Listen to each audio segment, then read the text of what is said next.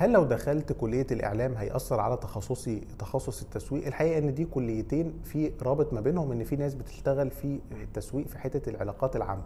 فالعلاقات العامة ممكن يكون فيها جزء تسويق فالاثنين ممكن يتلنكوا في حاجة واحدة في بعض الوظائف. لكن في بعض الوظائف التانية ما لها يعني مثلا محرر صحفي مثلا أو إن أنت شغال مذيع في التلفزيون ملهاش علاقة قوي بالتسويق إلا لو أنت هتسوق عن المؤسسة الصحفية أو كده.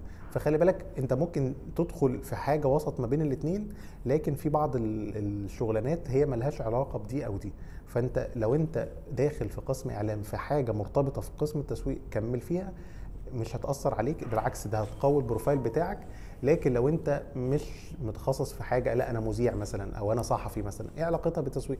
يعني حاول إنك تشوف الوظيفة اللي فعليا متلنكة أو قريبة من المجال بتاعك علشان تقدر إن تكون بالنسبة لك مناسبة سواء كلية إعلام أو قسم التسويق. على العموم خريجين كلية إعلام ليهم انهم بيدخلوا الشغل في التسويق وبيجدوا فرصة عمل. فلو دخلت إعلام إن شاء الله تجد فرصة عمل في مجال التسويق وربنا يوفقك.